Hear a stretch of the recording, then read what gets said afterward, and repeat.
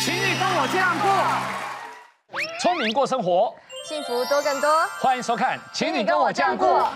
所以今天呢，我们要跟大家来稍微的剖析一下梦境，而且说明一点，叫做来解梦，好不好？这个梦跟身体健康有没有什么样的关联性啊？哎，我们先来请教各位，这个其实梦的多寡也是我们在衡量梦的一环，对不对？有没有人觉得自己梦可能做的还蛮多的？一个晚上做过比较多的梦，那个感觉梦境是什么呢？应该是最近的梦也可以分享吗？啊可以啊最近两三个月梦可以啊最近两三个月梦，我一直不断梦到我自己怀孕生小孩。哎，恭喜啊！没有，可是我听说了，就不是，就是你梦到生小孩，并不是真的会怀孕。哦，真的吗？对，可是我跟你讲，这有时候是看是谁梦到的。因为你知道我们节目就是有专业的老师嘛，是对不对？所以有时候我们就闲聊的时候，我就跟阿汤哥聊到啊，跟 阿汤哥聊到的时候，专业不是。我 我就跟我就问他说，哎，我最近就是梦到生小孩啊，因为有一集刚好我们要讲解梦这样，然后他就说，哈，那你要注意子宫的那个疾病。问题啊是哦，哎，我就刚好那时候就在生病啊，哎，对啊，所以这听起来印证好像蛮准的哦。那好像阿汤哥超越我很多，我要我要加加加强一下了哦。可是他的他的房子床位哈啊，我们说床的风水有关系哦。我们没有问你风水哦。现在聊天上你就在分享我哦好了，George 哎，做什么梦？我的梦多吗？因为我从小我很小就长记性，很奇怪啊，所以我记梦记得特别清楚。那我长记性从什么时候开始长记性？你知道吗？你记得有人你过了一个桥，有人拿一杯汤给你。那杯我有喝掉，所以我应该是记不到。我我的我的那个是停留在一个婴儿床，我看出去旁边是白色栏杆，哦哦，上面有那个电风扇在转，然后有冷气机开的那个老式冷气机，那个那个恐怖类啥，那个声音很大声那种。然后家里有人打牌的时候，就会闻到烟味。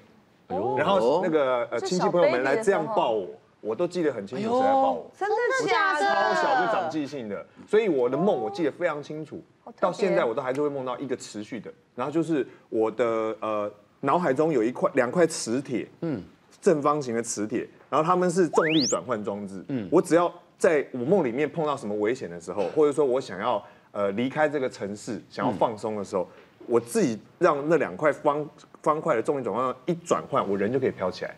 哎呦，然后就可以飘很远，然后离开我离开城，然后我最后的那个视角就是从这整个台北市然后往下看，然后哇很开阔，然后我可以随着风飘去很多地方。哎，张老师，听说你在登玉山之前也做梦哦？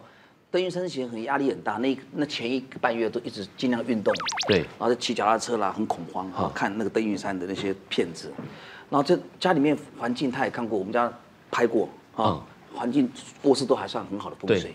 可是呢，在登玉山之前的一两周的时候，我就梦到我的膝盖莫名的肿大，哦，受伤。哦哦，我觉得这没什么，怎么会梦那种奇怪的怪梦？对，好，好像长瘤的感觉。哦哦，后来去登玉山之后呢，也攻顶上去了。哦哦，下来之后我整个膝盖没有哈，到现在还在做长期的受伤。就肿大了。对啊，真的肿大哦？对呀长是不是你在玉山的时候搭帐篷，小钟在你那边敲你的膝盖？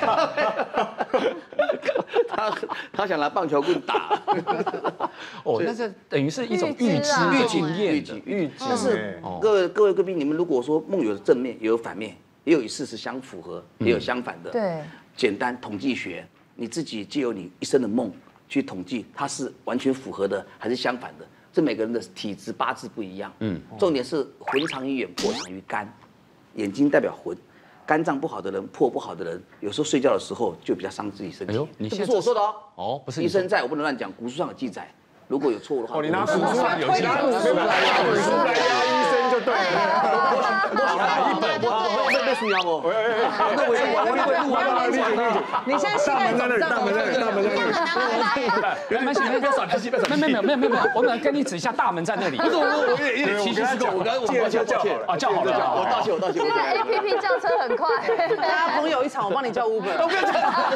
我还继续还可以聊天，还可以聊，还可以聊，还可以聊。好了，哎呀，你的梦多吗？我的梦超多，就是我是属于那种怎么睡都睡不饱的类型，然后我一天可以梦两三个梦，而且我觉得我还可以做续集的。啊，你都记？得就对，每天这样。我觉得刚刚大家讲那么多，我觉得都很厉害，因为我通常梦完就忘了，而且我想要回忆我都想不起来。嗯，然后可是我近期最有印象的是我梦到我家人过世，然后是梦到姐姐，所以我是哭醒的。可是因为很多人都讲说这样，呃，可能老师们会说是对于那个亲人是好事，或者是有可能我压力太大，有各种说法，但是说说出来就不会实现，我就赶快告诉大家。嗯，那所以像梦多或梦少的话，到底怎样比较好？有有差别吗？嗯，哦，我想哦，我们正常一般人来说，哈，其实有时候你觉得梦多，它不见得是真的梦多，梦少不见得真的是梦少，而是我们睡眠有所谓快速动眼期，它就是在我们做梦的时候，如果你醒来刚好是在快速动眼期，你就会很清晰记得你的梦。快速动眼期是什么做梦？已经有就是我们 REM 大对对对 REM 期 REM，它就是我们睡眠五个阶段，然后会经过眼睛快速震动，然后它那时候就是研究起来，那时候梦境会很鲜明，就是在一些研究上都很确定，就叫起来那时候他梦境就很清楚。所以就是你醒来的那一当下，如果是在快速动眼期的时候，你就会记得你梦境比较多。那睡太久是不是就会忘记？那睡太久，对，如果你醒来是非快速动眼期，你就会觉得相对你梦比较少。所以有时候你觉得你梦多，不见得梦真的是多。好，那另外就是说，它代表什么意义呢？其实有时候像刚才我们提到几个，就是你梦到的对象哦，有时候都会你情感连接比较深的人呐、那你有时候遇到压力或者是身体健康状况比较不好，那确实也梦会比较多。不过我刚才提到说，因为我们每 九十分钟规规律的有十五分钟的快速动眼期，所以一般而言，我们正常人梦理论上大家都差不多。可是为什么身体健康人梦境会比较多？那它有起码两个原因啦。第一个就是你当你有外在压力或者是生病，你会造成就是睡眠品质不佳，所以你深睡期会减少。嗯，所以当你处在浅睡期，所以浅睡期就我们睡得比较浅，我们会比较感知外界的一些刺激，所以你在半梦半醒之间，你相对的就这种非快速动眼期的梦相对就比较多啦。然后第二个就是说，真梦多的人反而健康啊。不是不健康，不健康。你睡得浅，你睡得睡浅得浅啊，很美但那个不管是好梦坏梦都算。对对对，然后第二个，那当然就很直接的，如果说你身体健康状况差，你睡眠品质就会跟着差，你就容易半夜醒来，你醒来次数多，你梦的报告身体相就相对就会比较多。所以就医学上来讲，梦比较多，是不是身体状况比较不好？其实确实是啦。而且我这里有一次啊，做梦做到一个也是很可怕，我身边的朋友，嗯，然后梦到他们就是类似像出意外还是什么吵架之类的，然后我就醒来，然后醒来当下梦非常清楚哦，我还想说我一定要记得，明天要跟这个朋友讲。讲我还想说，我要不要去拿笔跟纸跟笔把它写下来？可是就想说算了，我就现在把这个梦重重新对我自己说一遍，我明天应该记得。啊起来之后还是忘，就会越来越模糊。对啊大脑的资讯会被后续的资讯掩盖前面的资讯嘛，所以你如果哦是说这样子醒来再睡着，后来后面的大脑运作就会掩盖掉前面的资讯。哦 OK，哎，但是如果多梦的话，它会以中医的角度哈，它会有什么经络啊，什么透露健康讯息的一个连结会吗？其实多梦是属于身体状况的表现，哦，意思就是说，中医讲心主神明嘛，如果你心神不宁的时候，你的梦就会多。那刚刚讲这个魂魄，肝藏魂，肺藏魄，如果你魂飞魄散，那你一样是多梦。所以其实如果还有一种就是中医叫做心肾不交，这个意思就是说哈，心是火，它在上，那它性炎上，因为它是火嘛，那肾是水，水本来就是会往下降，心肾不交就是说你这个心上的火应该是来滋养这个肾的水，让它很温暖那，全身的循环都会好，但它不是，你的心火往上变得你的头脑会昏昏沉沉的，这个时候心火上炎，你就一直做梦，反而就是肾虚，然后又多梦。所以这个多梦它表示身体的问题，还包括说你可能鼻子过敏，你一躺下来你就一直打喷嚏，或者是一直流鼻水，你不自觉睡不好，或者你一直咳嗽，或者你胃食道逆流，中医讲胃不和、卧不安，对对对，或者是它可能是表示你可能腰酸背痛，你根本没办法平躺嘛，你一躺啊你就会一直做梦。所以这个多梦跟健康真的有一定的连接哈，其实是这样子的。哦，好，那黄医师如果记得梦太多的话，就代表真的是睡不好嘛？做梦的多与寡，就是会觉得说好像比较。比较呃比较刺激的梦哈，这些比较刺激的梦会让你觉得你好像做了比较多的梦，那其实它就跟你的睡眠安不安稳也有关系。就是如果你睡得相对是比较安稳，就不会有那么多那么多的干扰。然后对，所以如果你晚上睡觉是比较舒服的状态，是比较沉稳的，你就不会有那么多的不同的声光刺激哦出现在你的梦当中。所以有时候梦做做的多了一点，起来会腰酸背痛。所以依照你那种呃骨科的一种专业来讲，他有可能是姿势不对。对他可能你在梦中已经跑了千百回我。有有有其有我可以觉。补充一下，就是说，当你压力比较大的时候，肌肉呈现比较紧张了。你睡前肌肉是比较紧张的状况之下，你就会比较容易梦到恐惧、焦虑的梦，因为它跟你肌肉紧张、心跳加速是类似的。所以你睡前的情境如此，你就会比较容易做负面的梦。而且而且我真的相信啊，身体的需求跟做梦真的有关呢。嗯嗯，每一次只要喝醉了，隔一天起来，哎呦，您这是有什么需求？之前做的梦一定都是一直在喝水啊。哦，对，会都是喝水，没有，你就是梦到你在梦中一直在喝水，不断真的欲望的呈现在梦境中。哎，我怎么没做过这种梦啊？有是你喝的酒不够多，不够渴，不够醉，不够醉。那所以睡前如果要品质好的话，可以做一些什么舒缓的运动吗？对，我们在睡前其实运动跟那个呃睡眠中间的关联哦，就是在不同的时间要做不同的事情。好，所以如果说你要让你的睡眠品质是好的，你在睡前就真的是睡前哦，好，大概你就要做一些比较比较安静，比方说伸展的动作或者是呼吸技巧的。但如果说你是要让你的晚上睡眠好，好，你白天要做的事情是在你睡觉前大约四个小时的时候，比方说你十点睡，你大概五点去做三十分钟非常激烈的运动，就是那种开合跳啊、深蹲啊，什么都来，就是暴汗这样子。对对对，然后然后那个那个的目的是因为你在就是剧烈运动的状态，你的体温会升高，然后它大概花四个钟头会慢慢下降，然后到了那个时间点的时候，你就会释出就是褪黑激素的荷尔蒙，所以你就会比较容易睡，所以它就是有那个。个时间性，那如果说你真的想要加强版，你就是可能在四个小时之前，你就去做很激烈的运动三十分钟，然后你在睡前的时候，你就做简单的伸展。所以那可是有很多人说什么睡前做一些。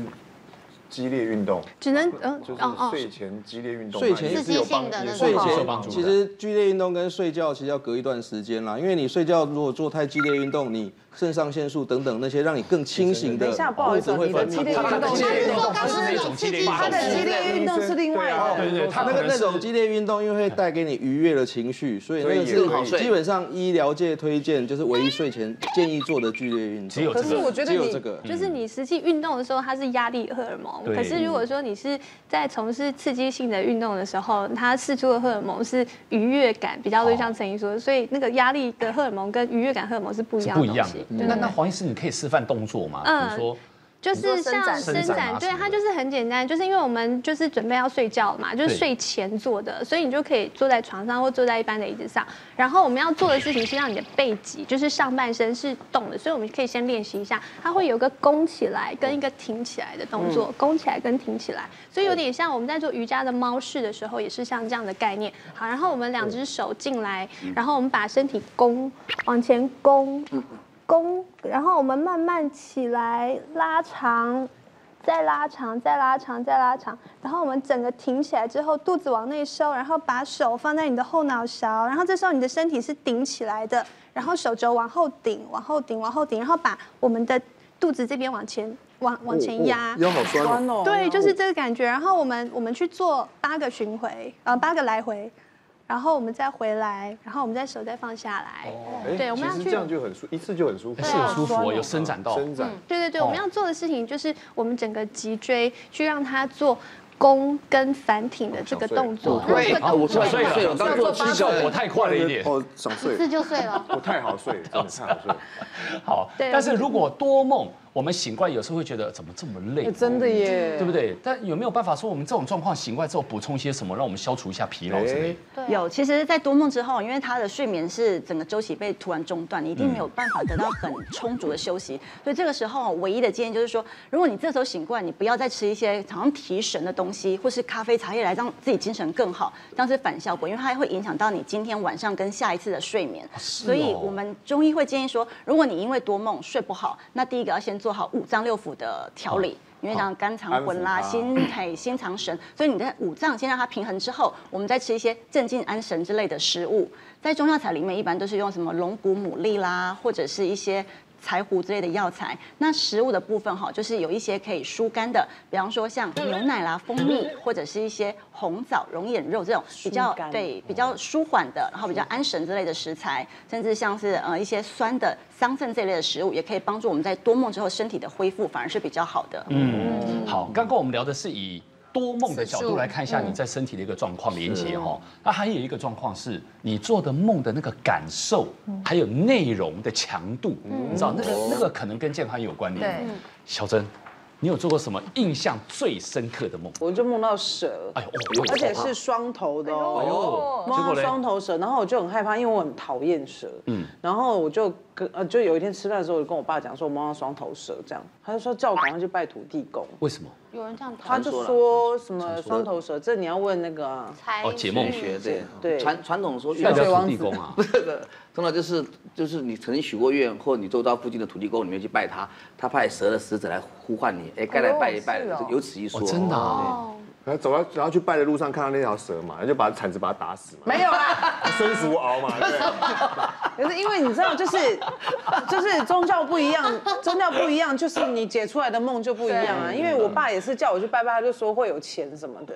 可是蛇在基督教里面是撒旦呐，是魔鬼的化身，是魔鬼的化身，所以就是解梦的角度不一样。我小时候有梦过蛇啊，你知道我为什么这么怕蛇？我很小的时候梦到突然睡午觉。头顶上突然一整排的蛇，然后朝我爬过去，全身啊！梦到这个蛇，醒来之后，我从此看到蛇，我歇斯底里。我就怕蛇，怕到这种程度。知道了，怎么对你了？准备一打了。别别别别这样！这个节目是一个优质健康节目。明天的飞机嘛，哪一个蛇出来说我们来聊蛇的健康啊？明天的飞机嘛，哎嘛，飞机上有蛇哦，不要拍电影啊，拍电影哦。对，来就去。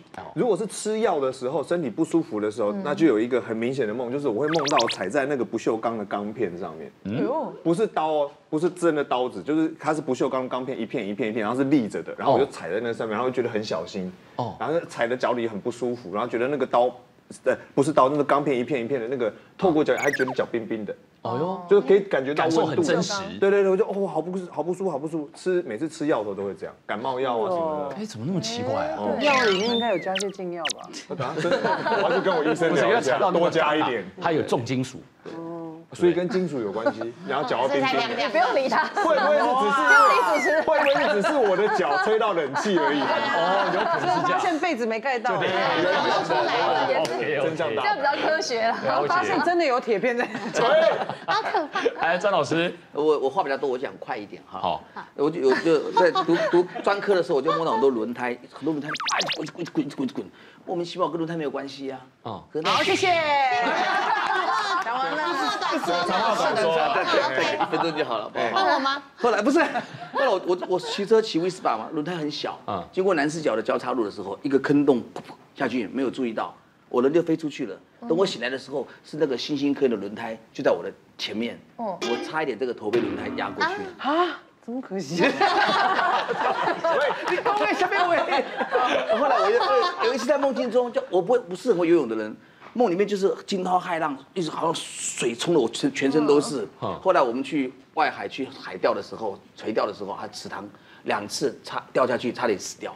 还好被救回来了。哇塞，他都是会，他都是会预言的耶。对啊，我是我是属于预言型的，预言型的。我近期做一个比较深刻的梦，是我梦到男朋友劈腿。嗯。然后可是他的劈腿过程就只是跟我，我很梦中我很清楚知道这个女生叫什么名字，我也认识。说出来。可是呢，是路人，就是一个一般人这样。一般人。然后可是我近期对不对？对，最近梦。最近的男朋友。梦泽，梦泽，梦泽，梦着，梦到他，因为他梦着梦着就梦梦着梦着梦着梦着就不是就反正我梦到男朋友劈腿，重点不是男朋友是谁，重点是那个女生我认识，然后我就跑去问那个女生说，你为什么要跟我男朋友在一起？她说没有为什么啊，我们就是相爱。就我一醒来之后我就很气，我就上网，因为我已经很久没有跟这个女生联络，是 某我可能大概有七八年前遇过的一个化妆师，很久很久以前认识的，对，然后我记得越说越小了。然后我就记得我有他的，我就记得我有他的 Facebook，然后我就赶快估就找他的名字一找，共同朋友，我看看他共同朋友谁是化妆师。然后很多个很多，然后我找到他之后呢，我就一看他，哦，他已经生小孩了。哦，我现在生小孩了，最近所以小孩是梦泽吗？孩子像梦泽吗？五六岁的小孩。小孩子喜欢打曲棍球吗？没有，而且五六岁一百多公分的呗。没有啦，没有那么大啦。然后反正我梦到这样，我就赶快跟那个。孟哲，好烦哦，我自己给自己挖洞跳。然 后我就问他说：“你认不认识这个人？”他就说：“我不认识啊。”然后我就说：“可是我梦到你们在一起耶。”他就说：“干我什么事啊 陈医师有办法解释来宾的这些梦境代表？我想，我就像弗洛伊德讲，其实梦会反映内心欲求的对象。其实我们白天的事情，其实都很时常就是跑到我们梦境里面。那害怕的时候，那当然就会梦境。也许当时正在看孙叔儿的书，也不一定啊，嘿啊，就有可能。哦，伸手像旧局那个梦哈，踩在钢钢片上，有可能是就是外部的刺激，因为你那时候身体状况不好，可能血循比较差啦，所以脚比较凉你可能脚就会比较凉，真的被或者是怎卡样就会就会比较容易。所以其实基本上我们梦的素材最主要有几个原因呐、第一个就是外在的刺激，确实是会啊。那这我要分享一个就是医学上的故事，就是毛瑞的断头台的梦。毛瑞是十九世纪法国一个很有有很有名的，就是研究梦的一个学者啦。那因为他很坚信说梦就是直接是外面的刺激刺激到你大脑，然后传递到梦境，就变成变成你的梦。所以他他做过很多有趣的实验啊，包括叫仆人把他脚绑起来啊，然后他就就会做到他被抢匪绑手绑脚，然后抢东西的梦，或者是叫仆人帮他滴香水，他就会梦见他到花草园啊，或者是香料店等等。那最有名的梦就是这个断头台台之梦啊，就是因为那个时期是所所谓法国的恐怖时期，他们当时的标志就是所谓断头台，可以斩首。对对对，他梦见他当时就是被判有罪嘛，然后被就是带到断断头台要斩首嘛，就当断头台咔一下，他马上惊醒过来，就一醒的时候，他发现他床帘刚好就打在他脖子上，所以就是因为他的解释是说。他的梦境是在窗帘打到他脖子上，到醒来这个短时间所造成的梦。哎，对耶，我是不是听说做梦其实等觉得好像很久，可是只是在醒来的前几分钟？呃，当然是啊，刹那而已有时候，有时候我们觉得梦境好像很多，事实上我们往往只记得睡前那十五分钟的梦。哦。所以不管你梦到几年几月，你其实最后一个快速动眼期就是最后那十就五分钟是 那第二个就是我们就是白天生活的遗迹啦，就说当然就是很多研究说医生他的梦境场景大部分都在医院，然后律师都会在法院等等，或者是说记者都会梦见说，哎，我是要播报来不及啦，什么啦，赶通告等等。那基本上这是第二个原因啦，然后第三个就是我刚才提到弗洛伊德他还写过梦的解析嘛，他认为说梦境是会反映我们潜意识的需求啦。像我做的噩梦比较多的话，会觉得这是身体比较不健康吗？嗯，一般来讲是这样啊。其实医学上也对梦做过，就是正正面正面情绪的梦跟负面情绪的梦啊，就是说，其实大部分我的梦都跟负面情绪比较有关啊，比率占了百分之六十八左右。哦，那正面情绪包括开心啦、愉快，大概就百分之三十一，所以大部分我们都是做噩梦比较多，就医学上研究。所以这不用太担心了，因为哦比较多的比例就是这样。那这个梦的感受跟身体的状况有关联吗？彭医师，我这边有整理一个表给大家看哈。好，假设你在梦里面有一种很生气的感觉，然后你平常就是又会常常觉得嗯很容易生气暴躁，其实要小心你的肝火是很旺的，是这个意思。那如果在梦里面非常非常的开心啦，就是哇什么中大乐透，小心心悸多梦健忘。开心吗？对，其实是因为心悸的问题。对，所有丈夫的一些感觉，最后都会联系到我们的大脑，因为大脑是我们的主宰，所以他会来判断这个梦的感觉。像比方说，在梦里面一直觉得很烦恼、很忧愁啊，其实有可能在现实生活中你有一些肠胃的问题，你可能正在便秘或拉肚子，所以你的脾胃不和。或者是在梦里一直哭，什么呃亲人过世很悲伤，其实我们中医解释说。肺是跟悲伤相关，因为那个感冒啦、咳嗽这一类的症状导致这种感觉。那常常会觉得很害怕、很惊恐的，其实可能在现实生活你会有一些头晕、目眩啦、一些肾水不足的症状是有可能的。对，嗯那预知梦啊、连续梦啊这些不同的梦代表什么呢？其实我可以分享几个，就是在医学界上就是很确定有第三者几乎带无于一亿的预知梦，然后那第一个就是说，他发表在英国灵学会的一个报告啦。那做这个梦的人是在当时就是在英国非常有盛名的一个退休法官，他叫洪恩比爵士，他就是在梦见说，在他这个这个梦当然是有一段时间了，就在一八七五年的一月十九号当天呢、啊，就是说他正在准备一个法院的判决书，他就写写写写到半夜十一点多，然后写完他放在一个信封里面交给仆人，要拿去给某个报集报社的那个编辑 A 先生。结果他正准备入睡的时候，他就忽然发现外面有人敲门的声音嘛，他本以以为就是仆人要来添炭火，所以他就把门打开，哎，发觉那个编辑 A 先生到他门口，脸色苍白，而且非常焦虑的跟他说：“就是哎，这个洪文比爵士，我可不可以要你的判决书？当然他因为半夜记者跑进来，他觉得很不高兴嘛，他就说判决书我已经交给我仆人拿给你了，你回去吧。可是他跟法官说，不好意思，我时间很紧迫，我没有时间再等了，你可不可以直接口述给我，我写在我的笔记本上面？然后结果他就把他的判决简要告诉这个记者，然后结果他第二天就醒来的时候，他太太就发觉说，他当时哎怎么做梦的时候一直在跟人家讲话，啊结果他他也不当一回事，他就是去去法院嘛，然后就去法院的时候，就他推事跟他说，他助手跟他说，那个编辑 A 先生已经在昨天已经暴毙了，哎？呦，昨天半夜已经暴毙了，哎呦，对，第二个梦哈就是发生在也是英国威尔斯的一个惨案呐，就是说。他是在也是在一九六六年的，就是他那个亚伯特小镇就发生一个煤矿的崩塌，就是就是罹难者有一一百四十几个，那其中有一百二十八个是当地一个学学校的学生啦，那就是英国的精神科医师哈，就是那个巴特哈，他就是去负责做哀伤辅导跟研究调查，然后他就想说，发生这种重大灾难，也许是可能会有一些有预知的现象，那下次我们是不是可以预防？结果他就是透过媒体征求，说是是不是是不是有人有预预知报告？就果然他收到七十六份报告资料，那其中二十二份有第三者的佐证，也就事前这个人已经告诉别人说我做这个梦，结果后来煤矿真的崩塌了。嗯，那其中有一份最著名的，就是一个小学生的告诉他妈妈的梦，就是说他总共他妈妈的报告说他总共做了两个梦啦。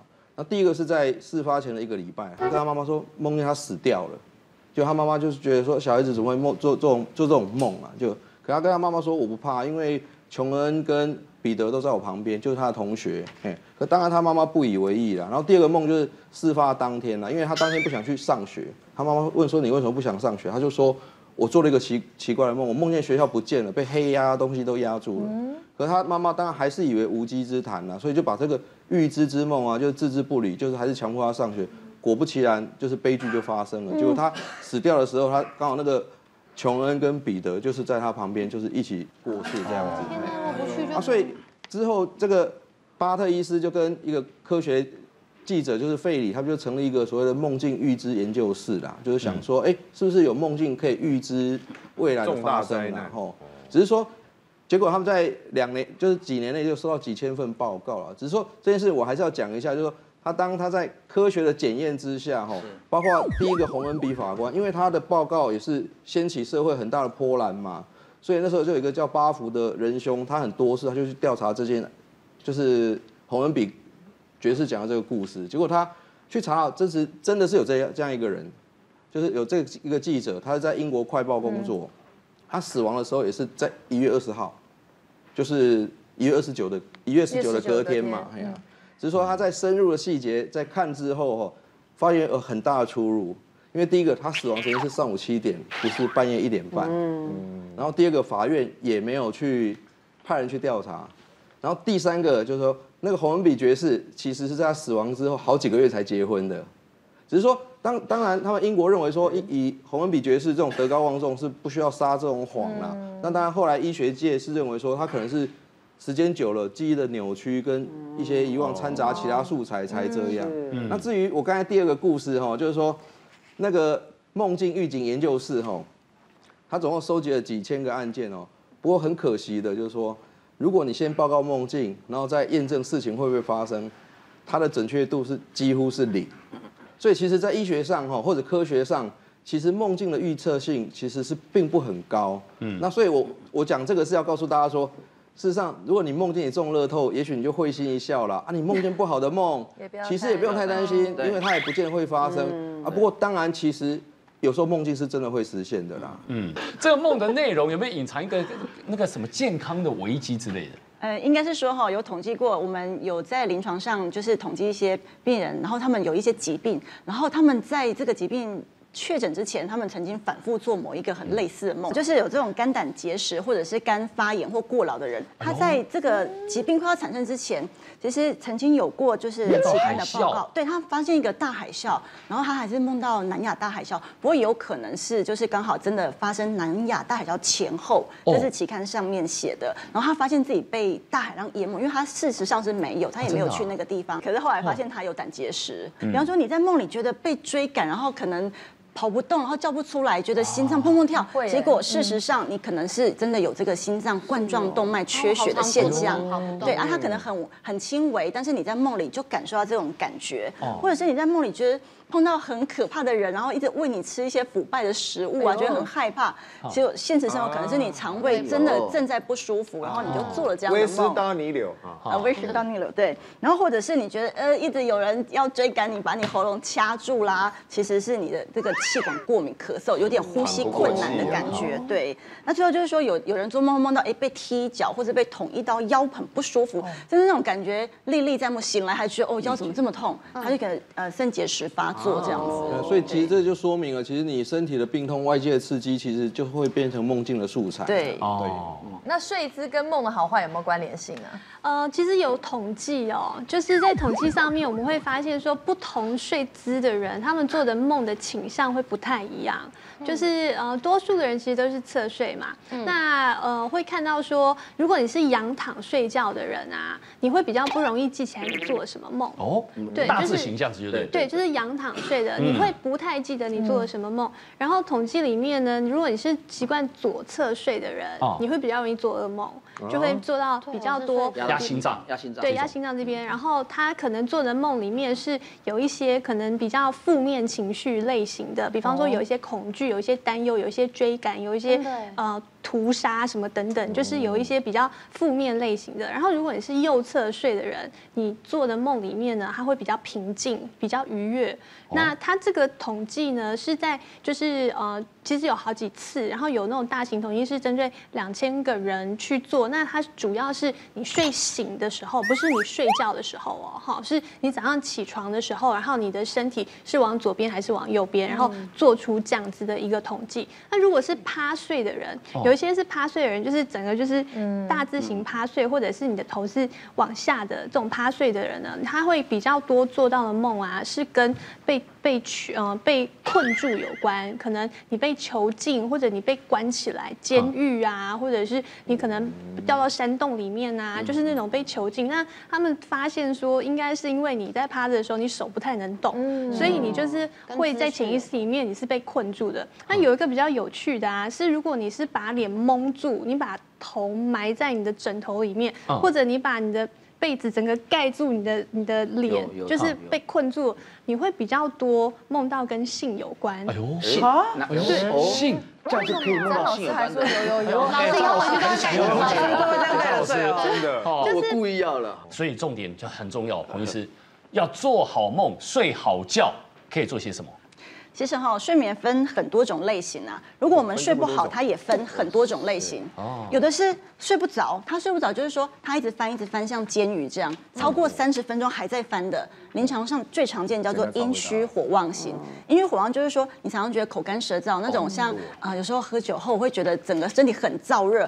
火很旺，可是是虚火，你不能补，一补嘴巴又会破掉的。嗯。这个时候建议可以吃点酸枣仁鸡汤。酸枣是什么？对，酸枣仁仁是一个中药材材，在中医里面是个镇静安神的药材，然后它配鸡汤的话，可以改善这种阴虚火旺的这种不好睡。哦。那穴位的话，这个力退穴是在这个我们脚第二个指头的这个内外侧，就这个位置，嗯，这个位置，哦脚趾头、中脚指趾头，我们要第二指，中指的中间，第二指第二指靠中指的这个指左右甲侧都可以吗，对哦，左右脚各一个，所以我们可以常常掐自己的这个脚趾头的这个位置自己。指甲那边自己掐吗？指甲对自己掐就可以朋友可以帮我们掐？我可以穿高跟鞋来。脏东西拿开，有忽然这么灵活？对 我，怕太冷了，我稍微热一下。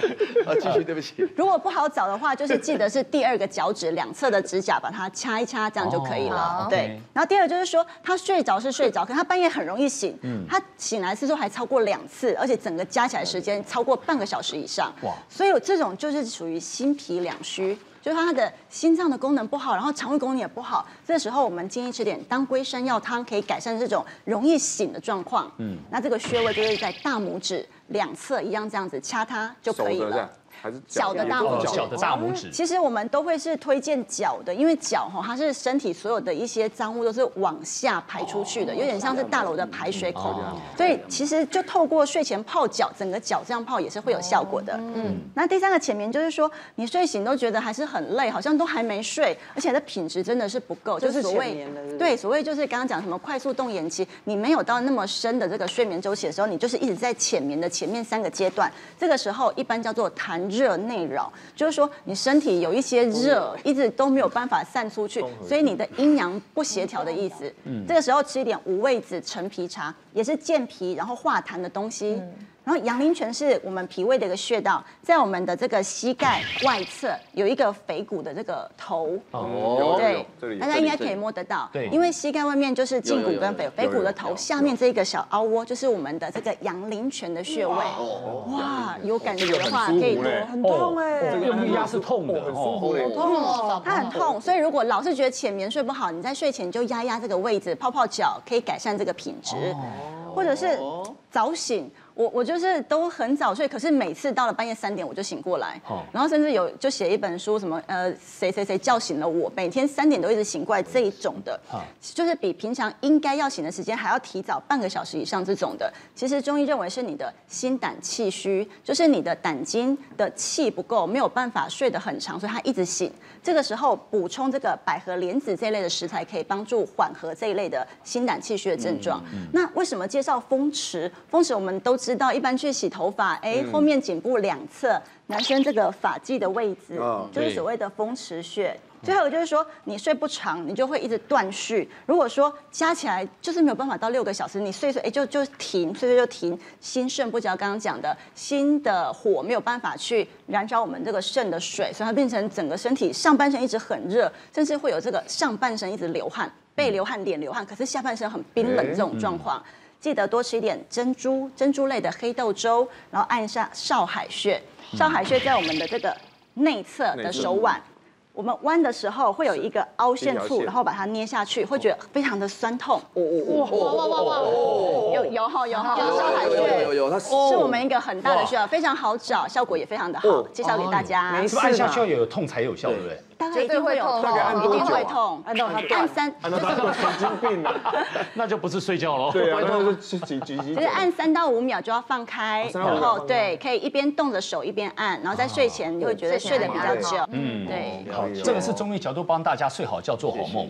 来，陈医师，西医有没有什么方法？其实我想讲这个之前哦，安眠药啊，当然这是很快速，可是不是最好的方式啦。不过我想讲这个之前，我先。跟大家分享一下所谓做梦的生理上的意义啦。基本上做梦是我们把日常生生活中的经验截取，然后作为学习记忆的素材。所以我要先讲，其实不管好梦坏梦，其实都是好梦，因为那是代表大脑在正常的运作。哦，那正面思考，对对，事实上是这样。那至于说怎么样做会比较健康呢？对，就是事实上其实医学上也有所谓教，就是。敷梦的技巧，其实我们其实我们是可以控制我们的梦境的，梦境可以控制。对对对。那我们简单讲，就是说它可以透过自我暗示的内容来改变你的梦境内容。就是说，那它有几点简单的做法，就是第一个，你要在白天一直问自己，我是处于清醒状态还是睡眠状态，让自己对清醒跟睡眠这件事情比较清楚的定义。然后第二个，就是你晚上睡觉，如果半夜中途醒来，你就要告诉自己说，我等一下睡觉，我想做什么梦，我要保持在梦里面愉快清醒等等，然后你就可以。比较容易在下个梦，因为你梦前的暗示而做你要的梦。然后第三个就是说，我们可以在睡前自我暗示，先做一些可以简单操控的梦，像飞翔这个是很简单，你可以在睡前告诉自己说，我等一下要腾空飞起来，而且要保持清醒，让自己心情愉快，然后学习睡前控制自己的梦。然后第四个就是说，当然你在可以控制简单梦之后，你可以编织比较复杂的梦。那这用在哪里呢？因为很多人在就是他会反复的做一些紧张焦虑的梦，譬如被人家追赶。他可能可以在梦境控制，说我不会怕那个人，我可以转身来跟他讲，你为什么追赶我？等等。还是手上抱一只，对对对，睡着。对，这所以其实我们可以当然可以控透过控制梦境来让我们所谓觉得不好的梦变成好梦了。哦。那当然医学上，我刚才也提到说，医学上最确切的证据就是说，你的生活压力或者情绪其实是跟你的梦境最有关的。也就是说，你的情绪的安稳，会让你睡得好。所以基本上，我们如果生活中有压力，其实你要去厘清，把这个压力解决，它可能可以解解决你潜在一些包括焦虑症或忧郁症的疾病。你这些疾病减轻之后，你的梦或者是你的睡眠品质跟着比较就会比较好。然后第二个就是说。你要保持就是生活的稳定性啦，你日夜节奏越好，它大脑功能就会越正常。你不要一下熬夜，一下早睡等等。然后第三个就是你生活的预期性要高，那这跟第二个理由差不多。你整个生活长期而言预期性高，你情绪会比较稳定。如果今天有一餐没一餐，那你心情就会比较不好，就会比较容易做梦。所以简单讲，在精神科医师的建议就是说。你要解决你生活的压力问题，然后让自己情绪处在比较愉悦的状态之下，你就比较容易做好梦。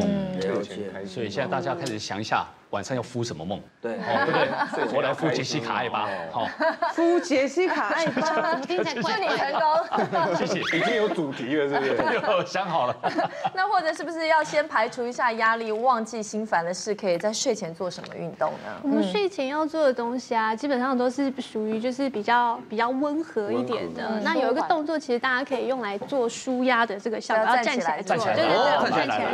我们要做这个动作啊，它是属于比较全身。身性的动作哈，所以到后腿啊，因为我们就睡觉如果没睡好的话，很多时候其实是因为你没有睡得很安稳哈。那我们要做的时候啊，我们先把脚站一个大字形，哦，其实就是脚张开啦哈。然后接着呢，我们把身体慢慢往下弯，慢慢往下弯，弯到底，手会碰到。太僵了。好，如果手碰不到，脚再往外开，手碰不到，脚再往外开，嗯，就是往外开，开到手可以碰得到的状态。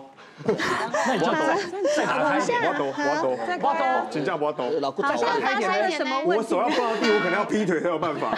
你有这么硬？我超硬的。来，我们来试试看。快了，快了，快了！好，快了，快了，再开一点，再开一点。好，我们要做的事情其实就是腰这边要把它打开，然后我们停住了之后呢，我们脚用脚的力量往内。走走一点点，往内旋一点点，手一样是放着。哎，我觉得他们现在头低低也看不到我厉害。我们我们先叫声。然后再往内，再往内转，再往内转，手一样是放着。然后我们再慢慢身体往上挺起来，就这样的动作。真的会好睡吗？累了。它它就是让你累，目的主要是让你后面后背这边，然后到脖子，我们就脖子是垂下来。可是我起来之后，反而头脑更清醒了。真的吗？哦，因为因为有点充血的感觉，对不对？对啊，可以看 DVD 啦。我们要做的时候啊，其实呃，在做的那个方向来讲，我们要比较放比较大，因为如果你的身体柔软度不够那么好的话，或者你没有碰到地板也没有关系。不是不好，是没有柔软度。因为 柔软度它是其实对睡眠还蛮重要的，就是让你能够尽量伸展，对，能够让你整个放松的这个状态。所以泡澡，睡前泡澡最好。睡前泡澡也是也是 OK，对，然后其实我目目的好像是相同的，对不对？你把那个背后的筋整个部分把它拉开，对，松开睡觉就比较好睡。我们样动作就可以了吗？还是？对我们这个动作就是从脚，然后到腰，然后到上背，整个是拉开的状态。对对对，好，那简单。大家可以试试看。还要重复吗？重复好几次吗？对我们我们基本上做八次到十次左右。那应该累了，想睡了。差不多，也拉得够了嘛？对，对不对？好，来谢谢谢谢黄医师。好，所以呢，现在大家很多人呢，可能都为了这个多梦啊、做梦啊困扰不已。但是其实，这我们所有的专家就是告诉大家，就正面来看待，正面思考，愉悦很重要，好不好？今天谢谢大家，谢谢。希望有个好梦啊！谢谢，再见。